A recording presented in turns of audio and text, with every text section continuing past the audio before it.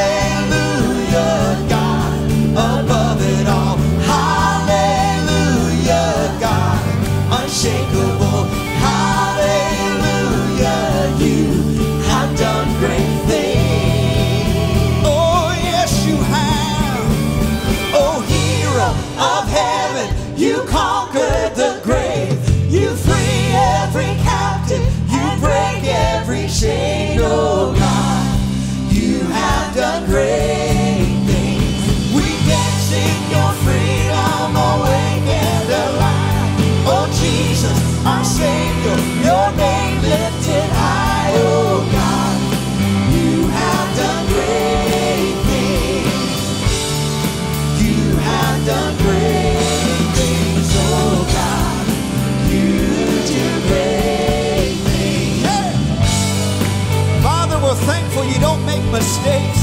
But Lord, your promises are yes and amen, and we're here to worship you this morning. Come on, praise him if you believe.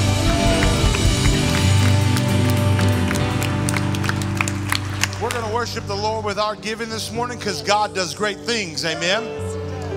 You know, we worship God with our spirit and our mind and our soul, but this morning we're going to worship Him with our giving. Amen. Goodness, we love you, Father, so much. We are excited to be in your house today. And Father, I pray your spirit will come into this place and it will touch every mind, it will touch every heart. And Lord, you will refine us in our hearts as we give this morning. Help us to learn the principle of giving back unto the God who has given so much to us. Lord, we tithe, we worship with offerings, and Father, we come today to give you the glory and the praise because, Father, you've never, ever failed, and you have done great things in our lives. We love you today, Father, and we give you all the praise in Jesus' name. Would you say amen? Let's come and worship him with our giving this morning. Amen. Come on. Amen. Give him praise one more time as you come this morning. Amen. He's worthy of it. Ah. It's going to be a good day. Do you agree? Amen. Hallelujah. Oh, we worship you, Jesus. How many believe he's coming back someday? Amen. Are you ready? Hallelujah. To be the one the Lord's calling for in these last and evil days. The one called to be a witness to some soul who's lost their way. Than to be you used as his instrument so men may see and know that he's faithful to his promise that he made a long time ago. For he's coming back again. I feel this. again. Oh.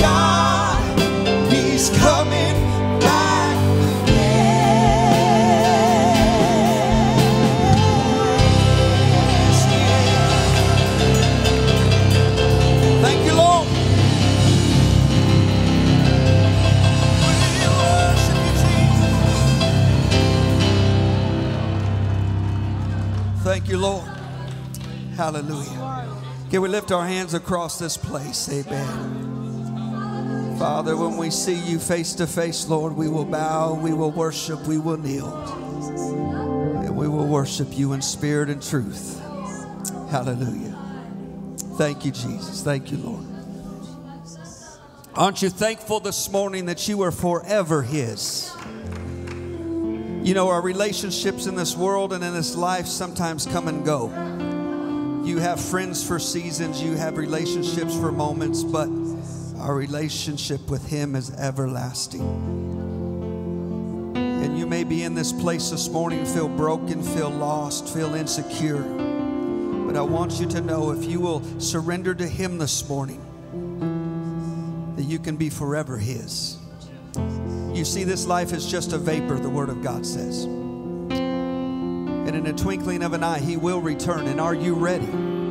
Are you ready for that return? And if you're not, by all means, before you leave this place today, turn your heart to Him. The day will be coming when this place will be filled with capacity, and it will not be with believers, but it will be with those that are left behind. That will say, Lord, give me one more chance. Today is your chance. Seek Him while He still may be found this morning.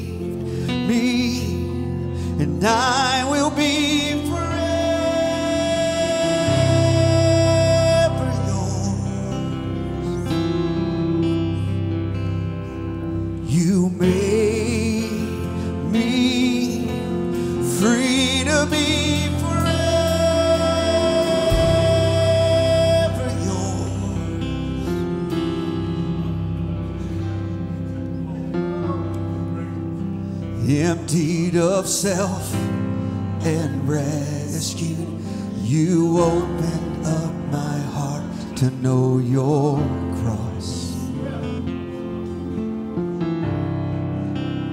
held by the power of freedom. You broke all lies and found me in your truth. You saved and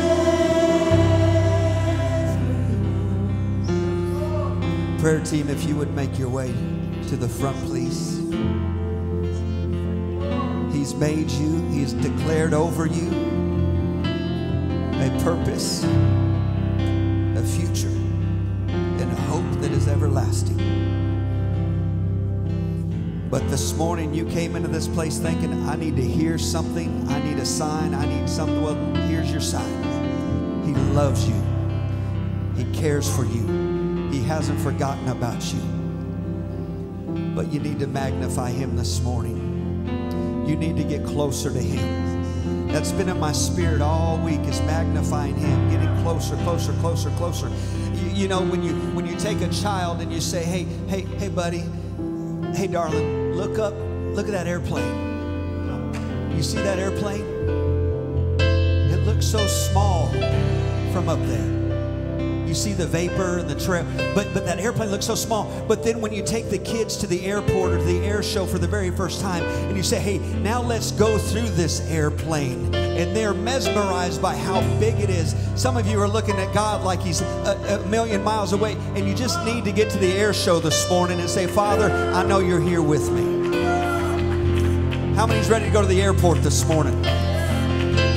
So this morning, if you have a need, if you if you need to surrender your life to Christ, I still feel that in my spirit. There's someone here this morning.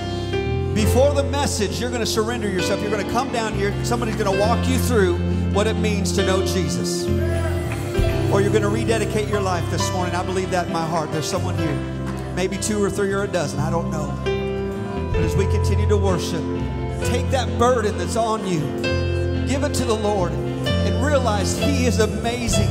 He is incredible. He created the universe, the expanse that we still haven't found the end to. That's how big He is. So if He can do all that, what can He do for you this morning? Amen. Let's hold on. Let's hold on to Him as we worship this morning. Won't you come? Won't you come? You saved me. You saved me, and I will be forever yours. Bring it to the Lord. You made me, and I will be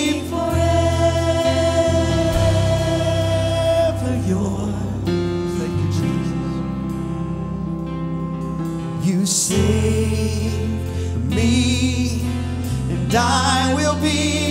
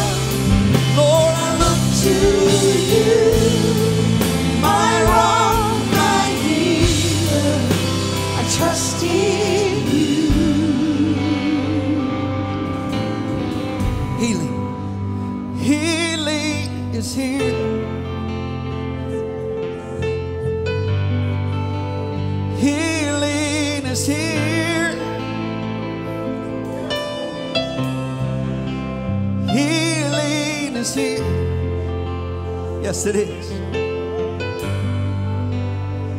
And I receive it. Father, we lift the needs to you this morning. We lift Sister Catlett to you today, God. Lord, touch this infection in her body. A patriarch of this church for many, many years, God. Lord, honor her faithfulness this morning. God, mend her and touch her, Lord. We pray today, Lord, for Brother Larry Benson's mother in law, God. They have decisions to make today, Lord. I pray that you give them wisdom and discernment today, God. A dear friend of Bethesda, Lord, I pray, God, that you would be their portion today. Lord, do what only you can do. Pray for Sister Denise today and Randy. Lord, as they said goodbye to their sister, I pray, God, that you would sustain them this week. Strengthen them, Lord. Lord, we love you. We appreciate you. We pray for Martha's family. They have several needs, God. Just lift your hand to them if you have a loved one or a need. Just surrender that person or personally. If you have a personal need to the Lord, give it to Him today. Take that burden to the Lord, leave it there. Lord, I pray for the request pertaining to my family, Lord. You know them. And Lord, I trust you. And I know you're able, and I know that you'll do only what you can do. Thank you, Lord, that Nate's procedure was successful. Lord, he is healing. We pray for our pastors as they continue on their sabbatical, Lord, that you would be with them, strengthen them, encourage them. Lord, we love our pastors. We're so thankful for the blessing that they are to us. But minister to them. But Lord, this is your church. This is your house. Lord, thank you for coming and ministering to us today. And all God's people said, Amen, amen. You may be seated this morning. Amen. You can sit and give the band a hand at the same time, can't you? Amen. We're blessed. Thank you, worship team.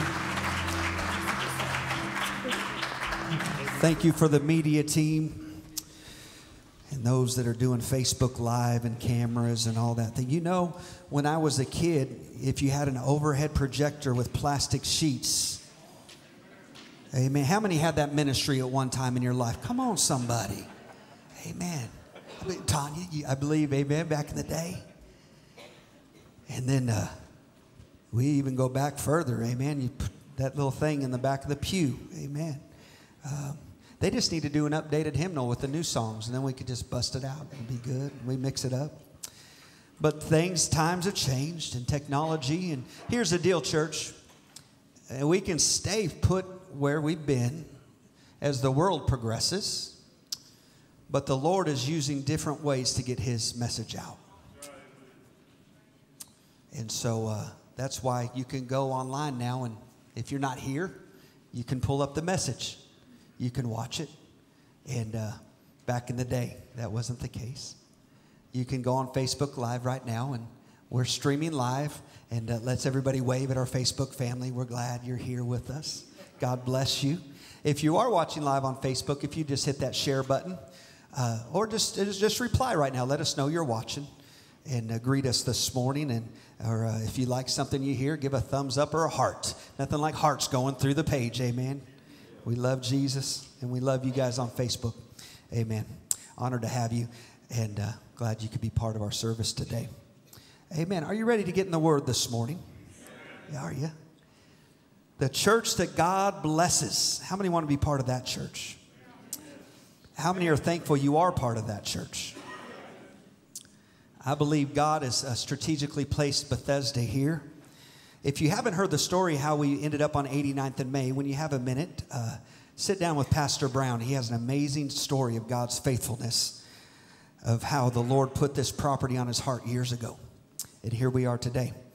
And, um, but the church that God blesses, Brother Michael Bridge did a great, great job last week setting the stage. And uh, we're going to continue uh, this morning with, get ready for this, Heaven's Guide to Proper Fashion. How many are ready to know? All these years you've wondered, what should I wear? I'm going to let you know today. Heavenly Father, thank you for this word that you've given to me. Uh, thank you for the inspiration. And Lord, right now I yield myself to you. And uh, once again, I say, anoint me as only you can, because this is your message.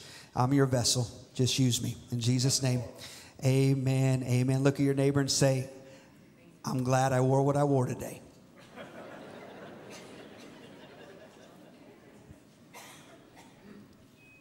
Can, can I confess something to you? Even at times, I have to uh, protect myself from being having a critical spirit. Anybody else?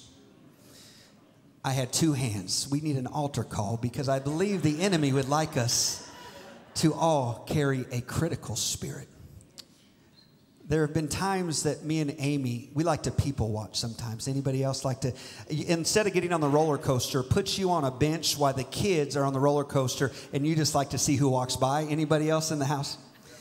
And uh, I'm just going to be transparent to you, and Amy's had to correct me on this because I've said this to her. Honey, when they were standing in front of the closet this morning, out of all the things they could have grabbed, they chose that. And then I have to say, Lord, I'm so sorry because maybe that's the only that they got. And that's just something I had to give the Lord. I said, shame on me. Get behind me, Satan. Anybody else ever have those thoughts? Just like at the airport, really? Uh, anyway, so I just want to talk about fashion for a moment. Because um, growing up in the 70s and 80s, I've seen a lot of changes when it comes to fashion. 70s and 80s were a great time. I mean, you actually had music back then that people played and sang. Like when you went to a live concert, they were actually playing their instruments and singing. Now you go to a concert, you don't know if it's the uh, the uh, the track playing and there. You know what I'm saying? Back then, it was them. I mean, it was really good, anointed, and uh, if you were at a Christian concert. Um, but even uh, even some leaders get this though. Even some leaders of certain denominations have placed tremendous emphasis on outward legalistic standards. How many of you grew up in church even before me, 40s, 50s, 60s, where you walked a straight line when it came into what you wore into the house of God? Uh, for example, when I was growing up, uh, in some, some circles, uh, ladies, you didn't cut your hair. Amen. That was your glory, and, and you, it, it was your glory if you let it down, but it was your glory if you got it to heaven. Amen. Either way. I mean, you had it covered both ways. You didn't wear nail polish for a long time on your toes or your fingers, uh, no makeup, uh, no lipstick or pants. And I'm not here to put that if you still feel that way. Hey, praise the Lord. Because here's the deal, y'all. Uh, we're to work out our own salvation according to the Word of God. And if the Lord still puts on your heart, that's the way you want to roll, you do it with everything within you. Amen. But as my mama says, if the barn needs painted, paint it. That's how she feels about it, and she's my spiritual mentor. So that's just the way I put it. If you are naturally beautiful and you don't need any help, praise God for the genes that the good Lord gave you. Amen. I'm not leaving you out of this either. Men, remember the day where, guess what? That razor was nice and sharp because there wasn't going to be facial hair, especially on the platform.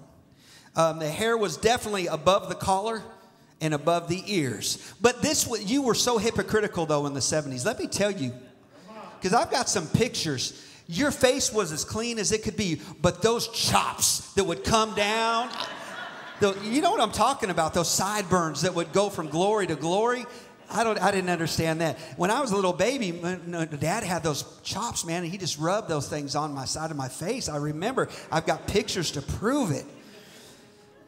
So, growing up in the 70s and 80s, I had my share of pressure and challenges. Can anybody else be there? You know, just trying to figure out what to do. You want to fit in with the culture, but we go to a Pentecostal church. How does this all fit in? But I'll never forget this because I, I was a young kid that always wanted to be with the teenagers. Any other youngins like that? You just want to be with the cool kids. You want to be with the older kids. That's who I was. My parents were youth pastors, so I got to tag along a lot. So, if they had the latest fashion, I wanted the latest fashion. I may have been seven, but I wanted what they had. So, the first thing I remember I really wanted was this right here. How many remember your first pair of Nikes? Come on, somebody.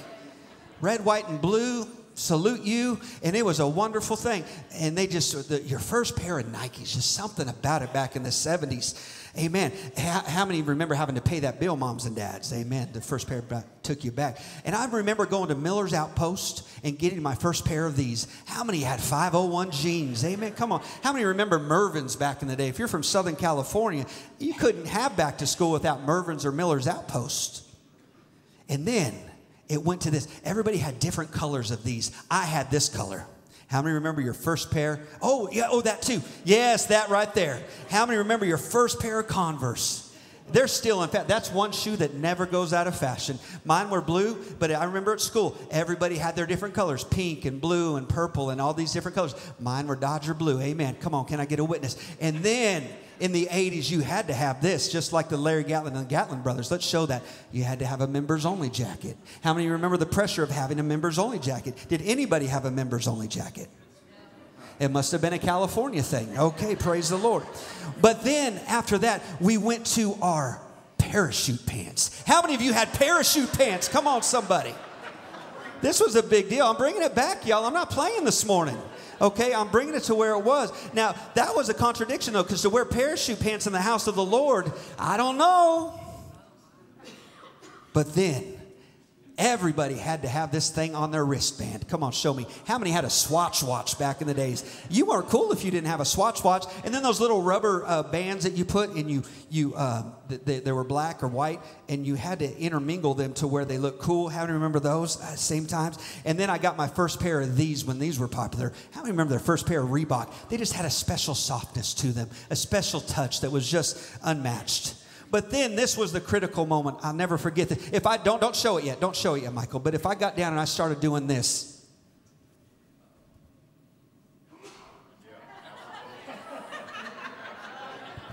I can't do it now. But how many ever had to do this to their pants because you had to fit in? You had to roll the pants. Teenagers, I challenge you. I ask you. It'll come back around eventually. Bring it back. Be in front of the curve on this one. Don't wait for California to bring it. Don't wait for New York to bring it. Oklahoma, bring it back. Come on, somebody. Tonight, tonight at youth, I want some pictures, Pastor Josh. But then my life forever changed in the early 90s, and I got my first pair of these Air Jordans. Those are the number fives, if you don't know. That was the grape color. And forever I was changed. They have a certain smell about them as well. I just like to take Jordans out of the box and smell them. But they're over $100 back then, and now they're like 185, 225. It's crazy. But those are just some of my things in the 80s. But I, I, instead of what I think about fashion growing up, I want to turn to the Word of God to see what the Holy Spirit directs, because that's pretty important, don't you think?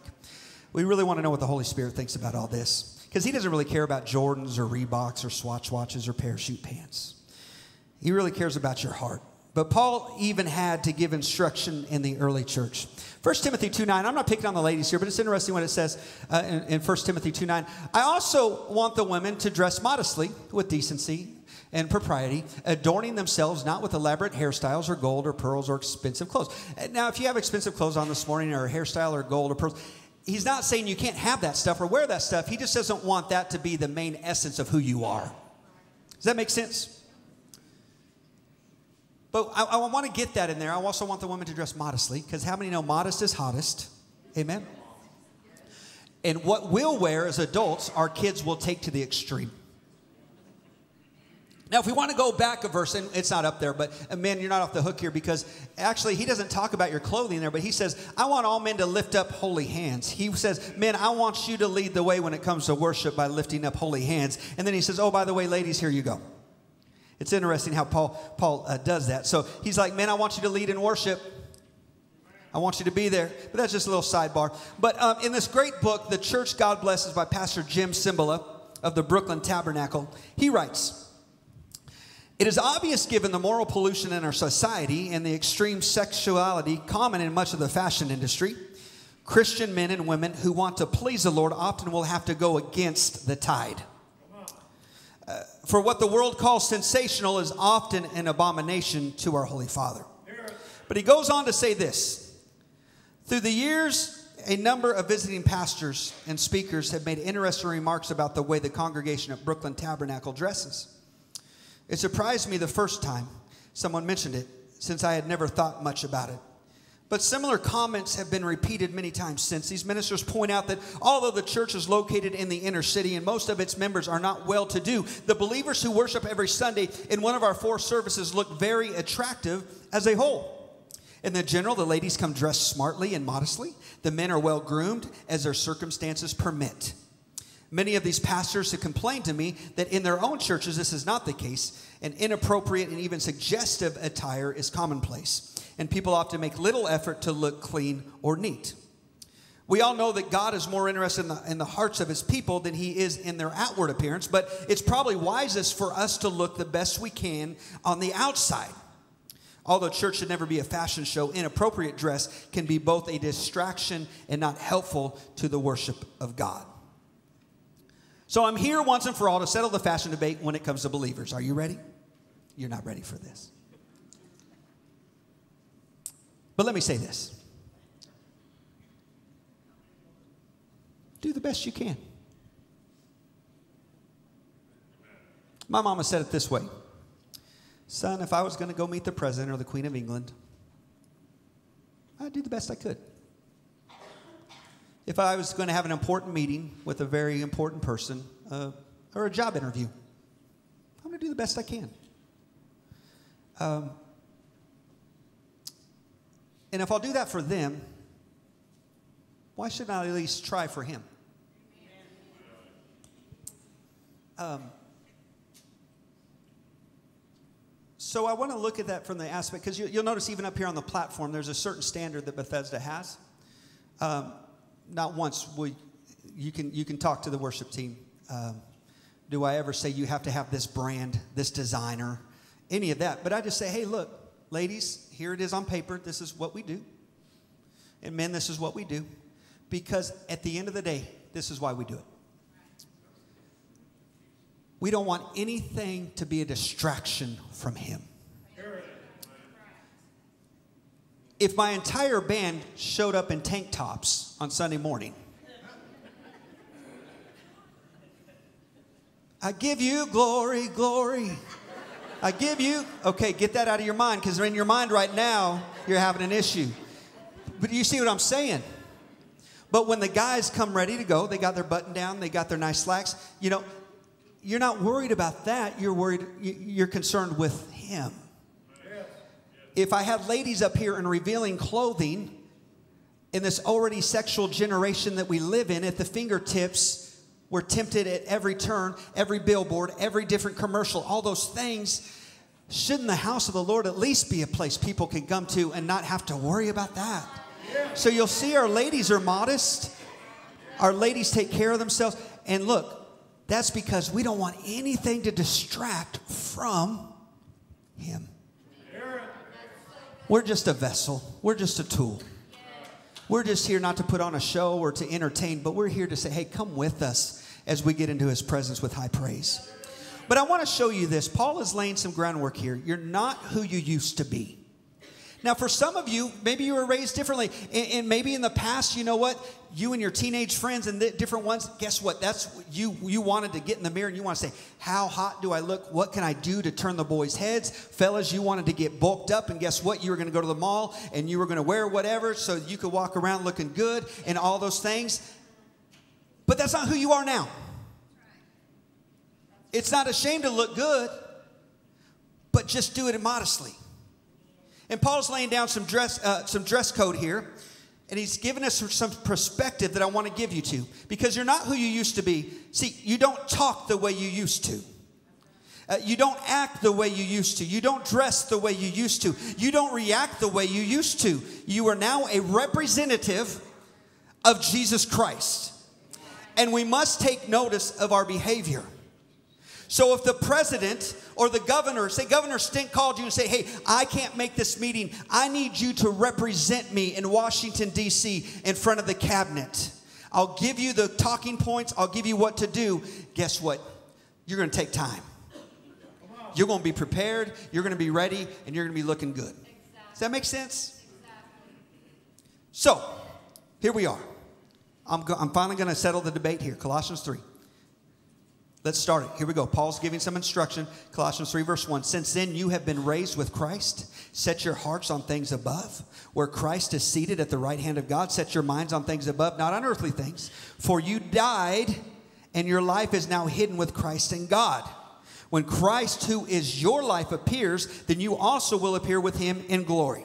So, this is what we have to do. We have to put to death spiritually put to death. Therefore, whatever belongs to your earthly nature, whatever your past was, those earthly natures, those earthly desires, we put those to death. And those things include sexual immorality, impurity, lust, evil, desires, greed, which is idolatry. Because of these, the wrath of God is coming. You used to, someone say used to, you used to walk in these ways in the life you once lived. But now you must also rid yourselves of all such things as these anger, rage, malice, slander, and filthy language from your lips. Do not lie. Do not lie to each other, since you have taken off your old self with its practices. And, oh, did you hear that? Since you have taken off your old self, you've taken off who you used to be, what you used to be, you've taken those things off. And to put on the new self, which is being renewed in the knowledge of the image of the Creator. Here, there is no Gentile or Jew, circumcised or uncircumcised, barbarian, a Scythian, slave or free, but Christ is all and is in all. Therefore, as God's chosen people, holy and dearly loved, here it is. Get ready, underline this. Clothe yourself. This is how you're supposed to dress. Get ready. Clothe yourself with compassion. Clothe yourself with kindness, humility, gentleness, and patience. Bear with each other and forgive one another. If any of you has a grievance against someone, forgive as the Lord forgave you. And over all these virtues, put on love which binds them all together in perfect unity. Let the peace of Christ rule in your hearts, since as members of one body you were called to peace and be thankful. Let the message of Christ dwell among you richly as you teach and admonish one another with all wisdom through psalms, hymns, and songs from the Spirit, singing to God with gratitude in your hearts. And whatever you do, whether in word, whether in deed, do it all in the name of the Lord Jesus, giving thanks to God the Father through him. Such a great portion of scripture there in Colossians. It spells it out. How are we supposed to dress? Hmm. Yeah, you thought I was going to talk about clothes more. But now we're switching to the spirit. We're switching to our attitude, knowing that we are advocates and representatives of Him. How we carry ourselves will make the difference to a, a lost and dying world. Colossians 3:12, one more time. Therefore, as God's chosen people, holy. You know what holy, right? Holy. Dearly loved, clothe yourselves with compassion, kindness, humility, gentleness, and patience. You see, because how unseemly it is for us as Christians to be dressed like something we're not. Why we decline to put on the beautiful wardrobe that the Lord has provided for us. So we take that old, dirty, uh, wretched, yucky clothes spiritually off and we say, Father, we're ready for our new white robe. And sometimes we get that robe stained from time to time, but hey, He forgives us and He picks us back up. So the first item heaven dresses, uh, addresses on the list. It's not a tie, it's not a dress, it's not a certain hairstyle, but it's something called compassion. For God's idea of spiritual fashion and attractiveness begins with a tender hearted pity. You see, a lot of times when there's nothing to gain, most people will look the other way. But I, I want to ask you this question this morning. If, if there happened to be a homeless person at the front of the church this morning, just imagine a homeless person in the front of the church as you were walking in, what would our response be? As we approach, would we grab our kids and maybe say, hey, why don't we go in this other door? Uh, maybe we just glance at them. Uh, or maybe we would engage with them. I don't know. I think sometimes we get numb to it because we see it on every off ramp and every exit. Somebody has a sign. And you, you wonder to yourself, is this legit? Do they really need help or is this just a scheme? Is anybody with me? Do you, do you understand what I'm saying? And, and, you have that debate and you say, Lord, help me here. Do I need to bless them? Do I need. I, I remember I had a, a, bottle of water and, and, I rolled down the window. I went to hand them the bottle of water. Said, oh, no, I don't want that. And walked away. Like, really? You know, so right then I'm like, wow. You know, it kind of took me off guard that I thought they would take it. But so let me ask you this this way. What if you knew there was a news camera it was recording your every move as you walked to the door and, and all of a sudden not only is that homeless person there but there's a camera recording your response that you're about to give then how would you respond Because I want you to know this morning that someone more important than a camera crew is taking notice to our responses. And uh, I didn't have time to set this up at our church, but I want you to watch this, this video for the next few minutes of a church that went through this process.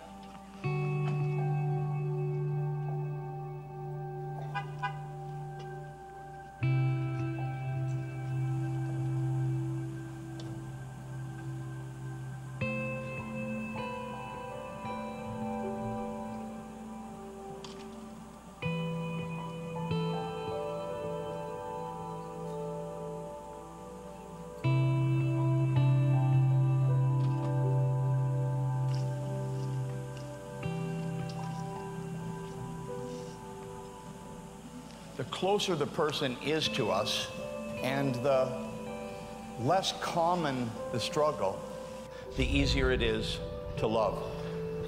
God forbid I find out my wife has three months to live. I quit my job, I quit everything, right? What if it's just an acquaintance of yours? And what if the problem's recurring?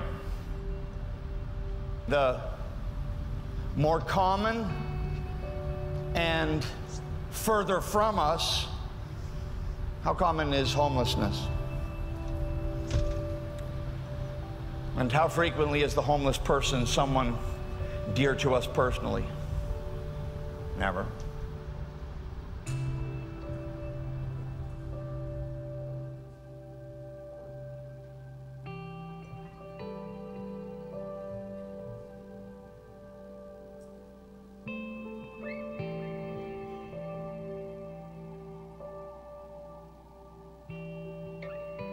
So I took a few moments a couple of weeks ago and camped outside of a couple of our campuses. And I wanted to see how we were doing, you know, when it's hardest to love. Do you know that your Father in heaven is giving the same graces to the person that's hardest for you to love? He's giving it. He's giving. He doesn't play favorites. He's giving the grace to everyone. And if we're going to love like our Father in heaven loves, we don't get to play favorites. And by favorites, I mean so often we love the people where there's some benefit in it for us, right? Okay, okay, okay, fine. I'll call my brother when I get home. I haven't talked to him for two years, but I'll call him. Really, will you? Will you? Because that's going to work out pretty good for you, right? Now everything's going to be good with your brother. Your mom will get off your back, and your sister's not going to think you're a jerk anymore. And, and I mean, this is, but see, that's not what I'm talking about. Yes, do that. But not just that. Where it's not your favorite, where there's nothing in it for you, where it's not an upgrade to your portfolio of awesomeness. So, how did our church do in the video? I'm going to tell you now. Awesome. I, I was crying inside that beard. I cannot believe the people in this church. The number of people that prayed with me and brought me food. Just watch and see.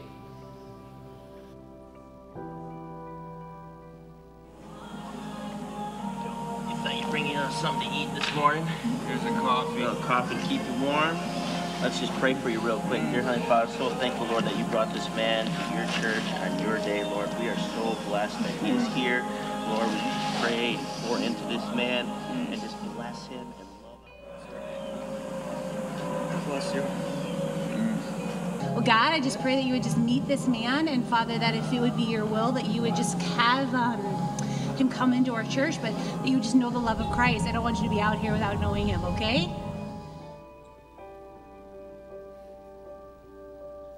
You're welcome to come inside.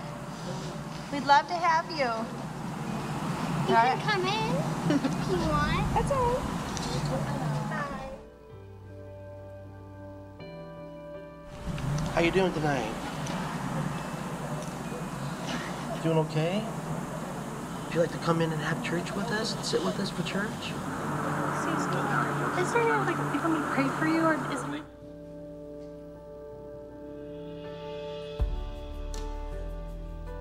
All right, but I got some water for you. And uh, something more valuable. It's the Word of God here. And God bless you. Is there anything I can be praying for for you, sir? Can I pray for you?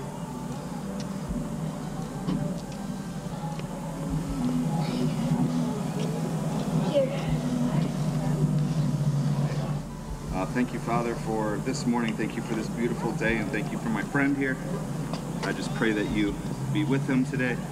Uh, give him everything he needs. Provide for him. God, you are our provider. You love us, you care for us, and you love this man right here.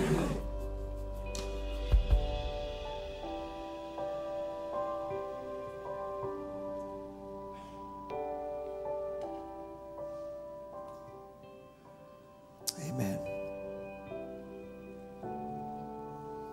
Matthew 9:36 says when he saw the crowds he had compassion on them because they were harassed and helpless like sheep without a shepherd. You see, Jesus looked beyond people's surfaces uh, and their appearance and even their sinful habits that dominated their lives. He saw into their hearts and felt compassion for their feeble, confused state. Many people feel discerning the faults of others equals spiritual maturity, but that's just not true.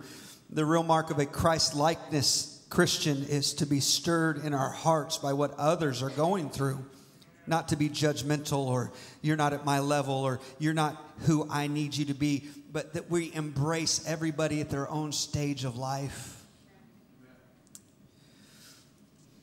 I'll be honest.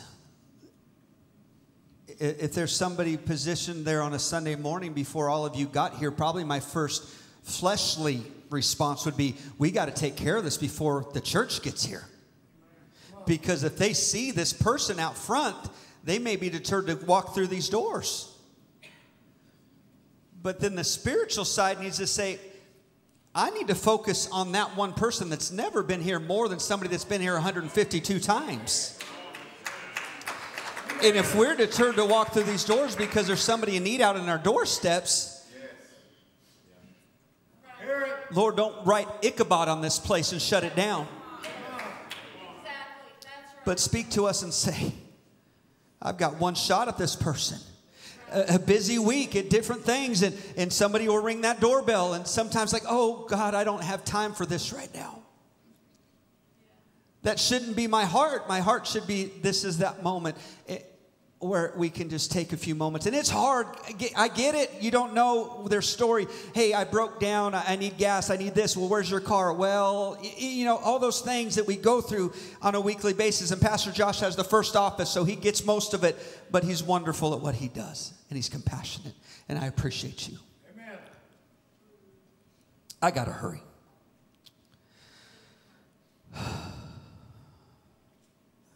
It is easy to give up on people when they continue to let you down, when they continue to sin and go down the wrong road. But let me ask you this what if Christ responded that way towards you? What if he gave up on you every time you let him down and you sinned? But we are all from the same cesspool of sin, so take off the clothes of insensitivity. Take off the glasses of judgment and self righteousness. And may we clothe ourselves in compassion, and that's including this young man right here. James 5:11 says, "As you know, we count as blessed those who have persevered. You have heard of Job's perseverance and have seen what the Lord finally brought about. The Lord is full of compassion and mercy, and may we be an overflow over our Heavenly Father. The next garment I want to talk to you about quickly is the, the garment of kindness. Kindness brings on a warmth and a softness to a spiritual appearance. The spirit of kindness gives the church, God blesses, a very inviting Chick fil A atmosphere. Can I have a refill, please? Would you like more ice? Absolutely. They get it back to me, and I always say, Thank you. And they always say, My pleasure. Who doesn't like a kind person, right? Who doesn't like somebody that's sweet, that when they walk in the door, you know they're going to come in with a kind attitude? I love those people. On the other hand, is there anything more uncomfortable than being around a sour, bitter person whose words and actions reek of unkindness? But Jesus was kind and considerate with everyone he came in contact with. It's just the way he was. So we can know scripture, we can know all the scripture and doctrine and, and many other spiritual things, but if we are unkind, we just blew our witness. He's not concerned about how much you know, but how you actually respond and react to what you know. You can quote all the scripture in the world, but if you don't act it out, if you don't live it, it's going to nullify what you know. Does that make sense? So Proverbs 11, 17 says, Those who are kind benefit themselves but the cruel bring ruin on themselves. In 1 Thessalonians 5:15, make sure that nobody pays back wrong for wrong, but always strive to do what is good for each other. 1 Corinthians 13:4, love is y'all can quote this, love is kind. It does not envy, it does not boast, it is not proud. It's not easy to be kind to ungrateful or wicked people. I get that. Because we are naturally repelled to them. If they're rude, if I don't want to be around you, I, I'm going to dust off and get out of town, right? You know, don't cast your pearls bef- before swine, you know, and, and if, if if they don't uh, receive you, just Jesus said, get up and dust yourself off, and, you know, and I get that too. There's a time for that. But may we do our best to stay in the game. And even though people are paying us rudely and doing things to us, may we continue to be kind because it's a kind word that turns away wrath. Luke 6:35 says, "But love your enemies, do good to them, and lend to them without expecting to get anything back. Then your reward will be great, and you will be children of the Most High because He is kind to the ungrateful and wicked." Have you ever had a um, a flight that you were on get canceled? Isn't that just frustrating? Especially when you're trying to get there or when you're trying to get home and you really want to get home, right? And they cancel your flight. Well, that happened to me one time, and um, we were actually on the plane and we had to disembark and get off, and everybody had to line up to get rebooked. Well, I watched, I was about 20 people back probably, and I watched. They were just hammering this young lady. Just, I can't believe you canceled the flight. I've got to get here. And it, it was not a kind moment. And I'm just looking at this lady. She's doing the best she can to get these 150 people rebooked in different ones. And even though I wanted to get home, I said, okay, I'm going to try to do better. So I walked up to her and I, I don't know why I said, I said, so how are you today? What a dumb question. she just looked at me like, just let me, come here. And uh, she said, where are you trying to go? And, and I gave her my, my information. But I just was nice and I was just sweet to her. And uh, you know what? She gave me my ticket. I didn't even think anything of it. I waited the two, three hours, whatever it was. I got on the plane. I was by myself. Got on the plane. And wouldn't you know, I was in a first class seat. You know how many times I've been in a first class seat? One time. But I've done it. I've done it. My favorite part is when at the end of your meal, they give you a hot towel. I didn't even know what it was for. I'm like, what's this for? Refresh your face. Okay. So you just never know. That little kindness that uh, not everybody else is dishing out, God just may give you a hook a brother up. Amen. So the first thing we got is what? Compassion. Second one's kindness. Next clothing tip is we, we got to put on some humility.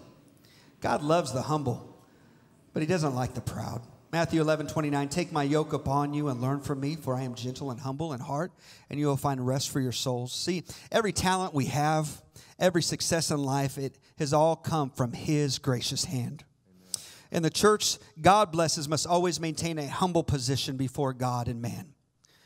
See, any feeling of superiority that we might have, uh, that, that kind of that attitude of we're the best church around, we're, we got this all figured out, or arrogance will quickly grieve the Holy Spirit. That's the last thing we want to do because Psalms 25 9 simply says this He guides the humble in what is right and teaches them His way. So, the first secret to receiving guidance from God is a humble spirit because 1 Peter 5 5 says, In the same way, you who are younger, submit yourselves to your elders. All of you, clothe yourselves with humility towards one another because God opposes the proud but shows favor to the humble. All you parents that are raising a teenager right now, you need to underline that scripture when they're giving you a hard time. Say, hey, honey, can you read 1 Peter 5 5? In the same way, you who are younger, submit yourselves to mom and dad. This is the mom and dad version. And uh, clothe yourselves with humility, youngster. Amen. But you all do that already because we got the greatest kids in, in the world. Amen. And Bethesda, can we give our kids a hand? They're amazing. Humility is probably the rarest article of spiritual clothing found among people of God. I, I just think that's true sometimes.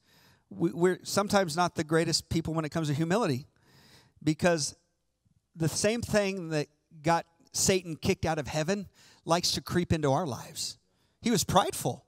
And so we're born with that. We're born, and, there, there's a good pride that we can have. We can be proud of our kids, or we can be proud of an accomplishment, or we can be proud of our country. And when we stand at attention or put our hand over our chest, we can be full of pride for what we're part of, right?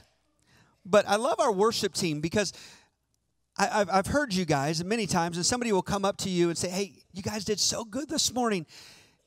And every time I hear somebody respond, Oh, thank you so much, hey, it's all about him. It's all about him.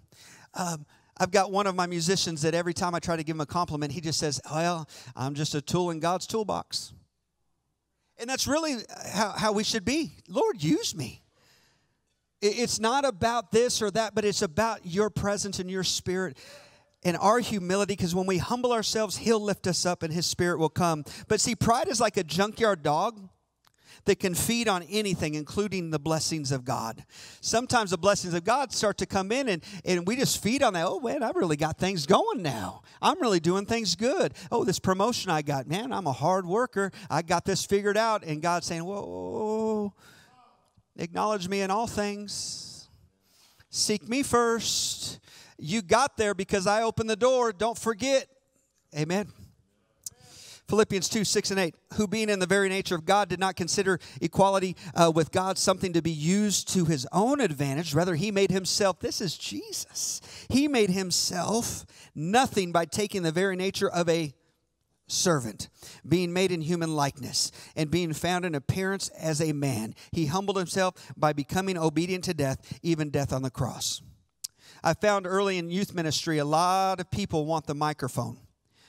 But when it came time to clean up or stack chairs, you couldn't find them. And I believe in my heart here if um, gospel Christian music wasn't the key to God's heart, I think country music would be a close second. And I know that's wrong. But I can't help how the Lord designed me. And I like some good country music if it's wholesome. And there's a young man by the name of Tim McGraw that says it this way talking about humility. Hold the door. Say please.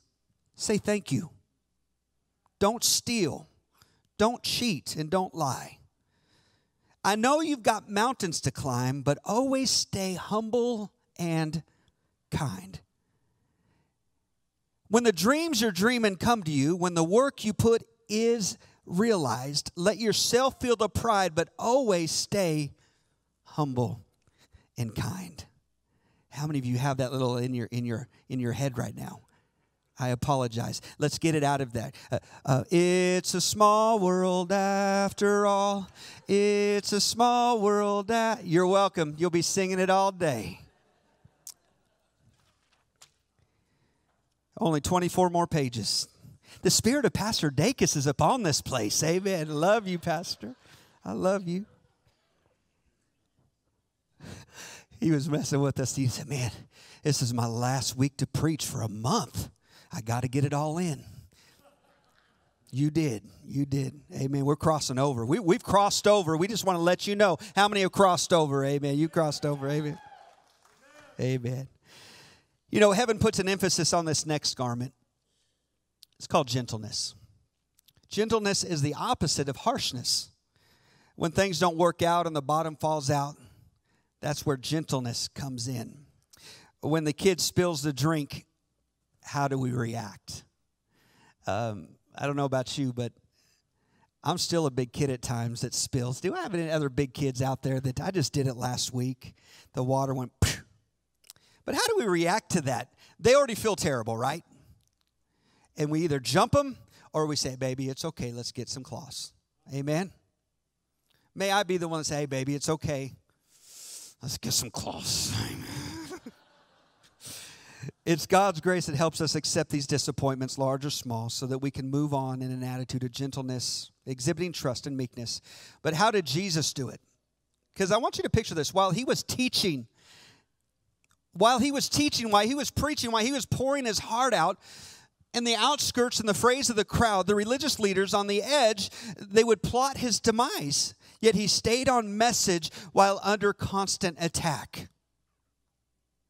As he was preaching, he would have people just over in the distance whispering, We're going to kill him.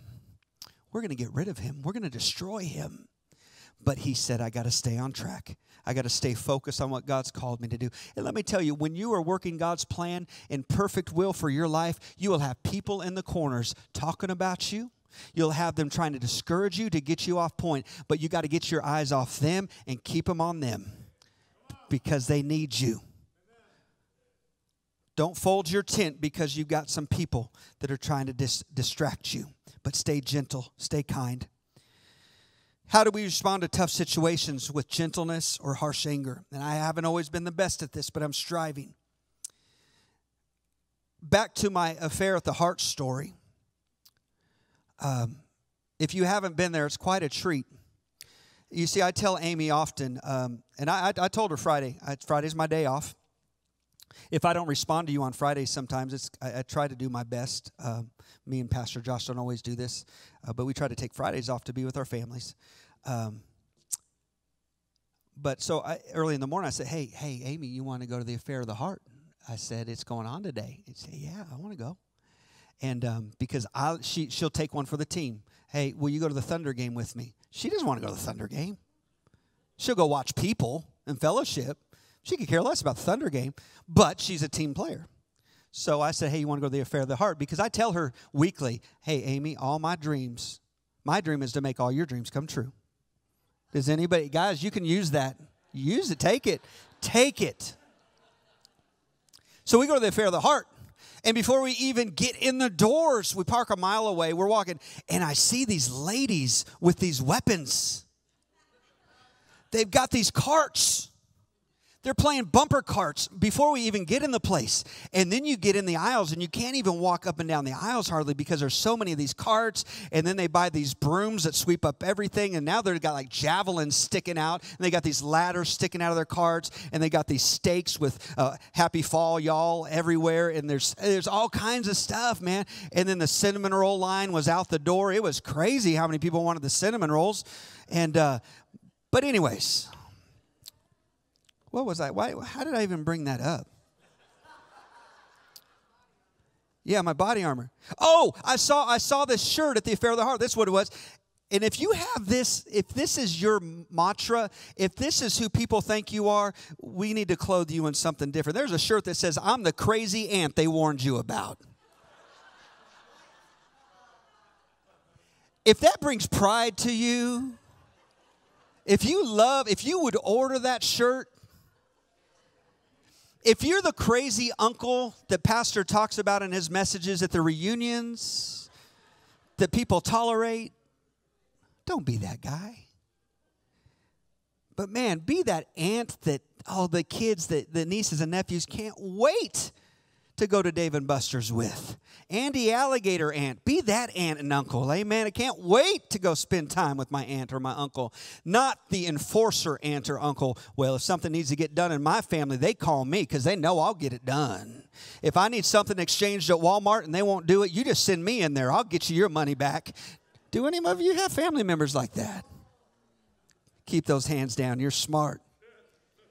If that's a badge of honor that you're the enforcer, please take this message to heart today and be the sweet Anna. You, you got Thanksgiving next month. Change in the name of Jesus. All right, lastly, here we go. We're coming home. We need to put on patience. Oh, I don't like that word. Man, I want my answers now. How many of you have ever put an application in for a job and it's like, are they going to call today? And you're just waiting. And you're like, Lord, please. You know, you go to the drive through, you want it now, you want it your way. Amazon, it wasn't good enough to get it next day, now you get it the same day.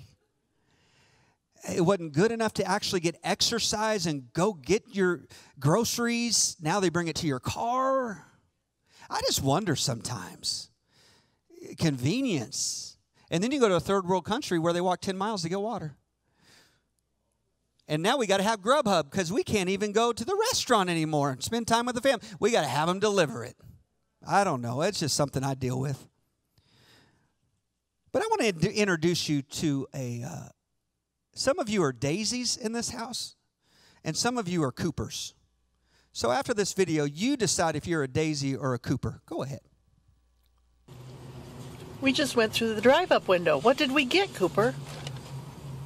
Daisy, what did we get at the drive up window? Would no, Cooper, let Daisy have some. No, Cooper. Daisy, where did we go? did we go to McDonald's?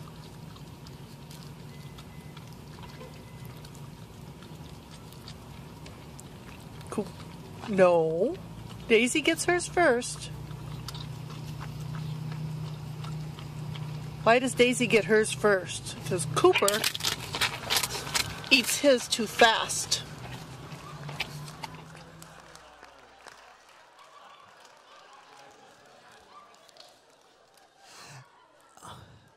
If you're married to a Cooper, stand to your feet right now. We're going to have prayer for you. Amen.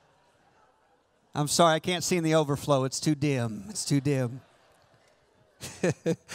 it's true, man. When we go to get dessert, man, Amy's like, oh, we'll just share. Or I'll say, we'll just share. She said, you won't share. She won't share. I'm not good. I'm not good. You know, patience is perfectly matched mate to gentleness and involves being long suffering with others. But it's hard to have patience with life issues sometimes, with family members, uh, waiting for the answer that we want to receive. But we need to run quickly to God's wardrobe and put on patience. The church God blesses quickly realizes how patient God has been with us. Even among Christians, there will sometimes be problems and hurts. How many know that? But this is why Paul wrote in Colossians 3:13, "Bear with each other and forgive one another. If any of you have a grievance against someone, forgive as the Lord forgave you." He's been very patient with each one of us. May we give the same patience. So let's just be real for a minute. How many know brothers and sisters fight? How many know brothers and sisters disagree? It's just the way it is. But at the end of the day, you've got the same blood, and you humble yourselves, and you pray it through, and you get back together. And I'm praying for you, if maybe that's your family dynamic right now, that I pray that those walls will start to soften. As you lead in patience and humility and gentleness and kindness and all these things, that they'll take your lead and they'll follow suit. But my question is this How can we reach those on the outside of the church when we're busy devouring our own brothers and sisters inside of the church? So may we be the mature ones this morning and put on the garment of patience compassion, kindness, humility, gentleness. Because if we're going to reach them, we got to figure it out in here. Because of visitors and different ones come in and, and they feel dissension and they feel divide, uh, they'll look at that. That's not a healthy situation. But I'm thankful we're part of a healthy church. I'm thankful that we have pastors that navigate through those situations and take care of them when they need to be taken care of. Amen. Let's live together in unity and harmony so we can reach those outside these four walls. 1 Thessalonians 5:14 as we urge you brothers and sisters warn those who are idle and disruptive but encourage the disheartened help the weak but be patient with hard word here you know what everyone means in the Greek and Hebrew everyone so how patient has God been with you and me I love this analogy I saw this week. It says this. So imagine this you're holding a cup of coffee.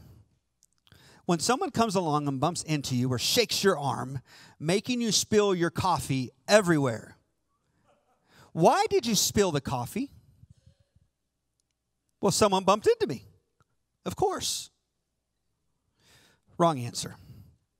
You spilled the coffee because there was coffee in your cup. Had there been tea in your cup, you would have spilled tea. Whatever's inside the cup is what will spill out. Therefore, when life comes along and shakes you, which will happen, whatever is inside of you will come out.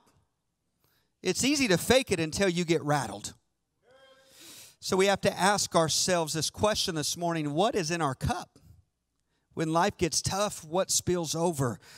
The fruit of the Spirit? I hope so. Joy, gratefulness, peace, humility.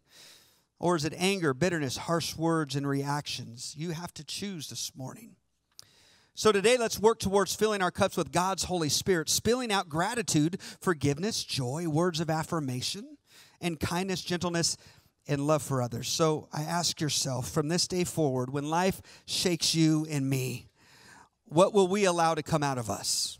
I pray this morning that our reactions will consist of compassion, kindness, humility, gentleness, and patience. Uh, I truly believe this is one of the reasons why God has continued to bless Bethesda all these years, is because we have had pastors and leaders that have modeled these qualities.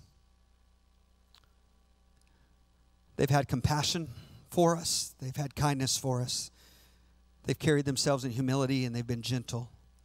And God knows they've been patient. So thank you to all the pastors that have led this, uh, this, uh, these qualities uh, for 75 years. So thankful for them. So, who's ready to make an impact? Amen. Who's ready to make an impact? Pastor Josh and me drive the van probably more than anybody. And sometimes when I'm driving, I think, oh, I can't honk right now. I'm in the church van. Because you just want to lay on it, right? You just, oh, can't believe you, you didn't just cut me off. You know, the people that, uh, yeah, you know, when traffic gets busy and you get in line like everybody else, but then you get that other person that just goes and then at the last minute they go, mm, no, you didn't. What's more important in your life than my life? And you want to honk and they go, no, I'm in the church van. So I, come to, we're going to put Bethesda Church on every one of your vehicles. When you leave today, every one of them's wrapped with Bethesda just that's not a good idea because some of you would still honk. Amen. But we need to make an impact. Uh, take a quick look at this video as we close.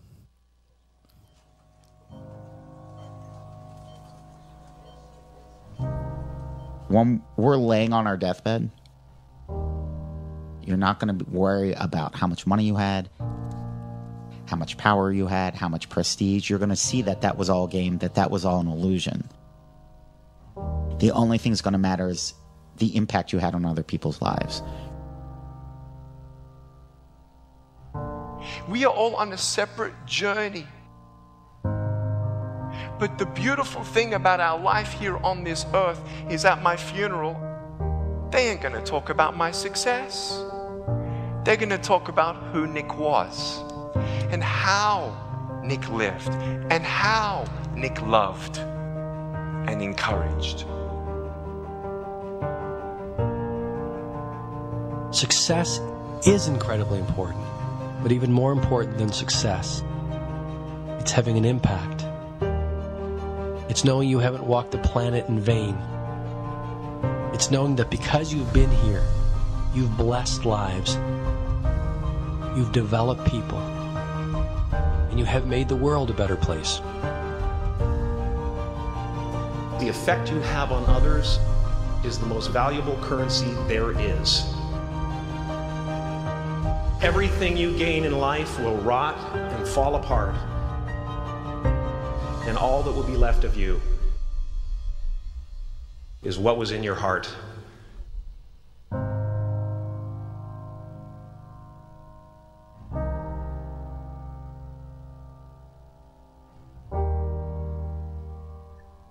Life is a mirror. And life gives us not what we want, Life gives us who we are. When you were born, you cried while the world rejoiced. Live your life in such a way that when you die, the world cries while you rejoice. Musicians, please. So when we look at that, wow. Gavin, come here, come here real quick, buddy. So my question, what, what are you wearing today? What are you wearing? Because Gavin, handsome, good looking dude. Love this kid. But Gavin, let's do this. You know what would make that shirt pop? This jacket.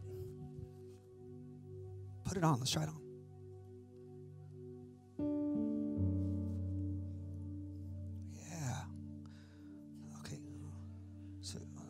Yeah, baby. Look at this guy. He's handsome. You like that? You want to preach? No. Okay. Ooh.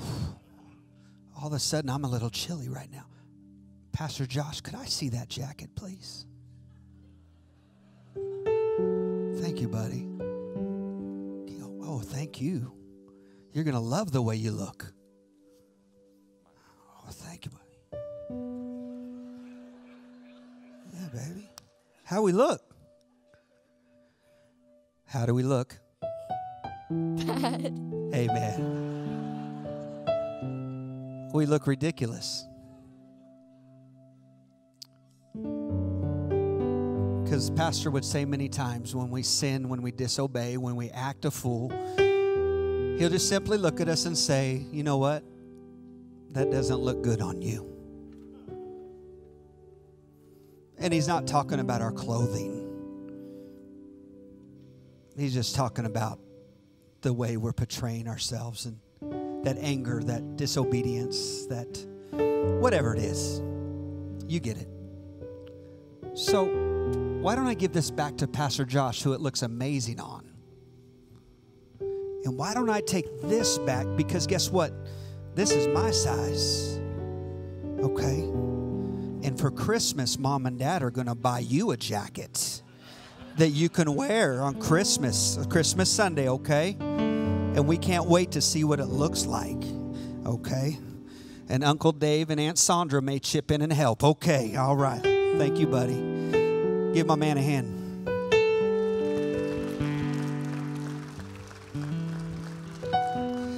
So put on what God has given to you, not what somebody else has put on you.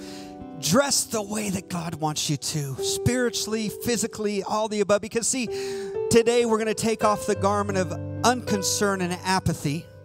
We're going to take off the garment of anger and meanness. We're going to take off the garment of pride and arrogance. We're going to take off the garment of brutality and harshness. And once and for all, take off the garment of impatience and irritation because it doesn't look good on you. And it's not a good representation of our Heavenly Father. So, would you stand to your feet this morning?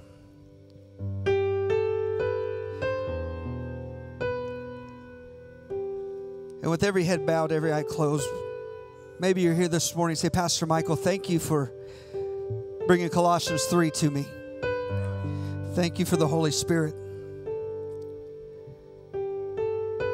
And man, I never looked at it that way. I, I just kind of go throughout my day and I just do what I do and I am who I am. And but I've realized today that when I get bumped and the stuff starts to spill out of my life, it, it, it's not it's not the right stuff. But today, I choose you. I choose for your spirit to work through me, and I, I choose, God, to yield myself to you. So if that's you this morning, say, hey, Pastor Michael, thank you for this encouraging word and challenging me in this. And I'm going to leave this place, but with the mindset, I'm going to do better with how I react, how I respond, and spiritually what I wear. And if that's you this morning, no one looking around to say, hey, I'm going to work on this because I need to. Because my kids are watching, the world's watching, my coworkers are watching. And I need help on how I respond. Would you simply just acknowledge that to the Lord right now? Just lift your hand and say, That's me. Hey, my hand's up. My hand's up. My hand's up. Repeat this after me. Dear Lord Jesus, forgive me of my sins. Give me a heart of compassion. Give me a heart of kindness. Give me a heart of humility. Give me a heart of gentleness. And Lord, give me patience to overcome any obstacle that may come my way. Thank you for coming and living in my life, forgiving me of my sins, and giving me a fresh start on October 20th, 2019. In Jesus' name, amen. Amen. Can you give the Lord praise? Amen.